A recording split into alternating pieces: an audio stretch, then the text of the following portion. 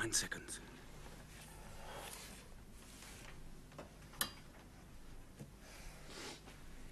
All right, well, here we are. We could double it would be all right. Yeah, but what about the cell lock? One key. God, where'd you get that? Got contacts everywhere, mate. All right, equipment check. Right, uh, one, two, three balaclavas, three pairs of gloves. Uh, two ropes, two grapnels, one knotted rope, and uh, one spare balaclava, spare pair of gloves. Right. One, two, three automatics. Not magnums. Not this time, no. What are they, Walther 38s? Have a look again.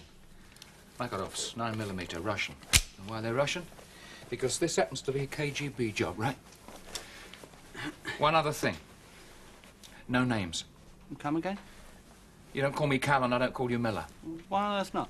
Because Lubin knows my name, right? Right. Let's go.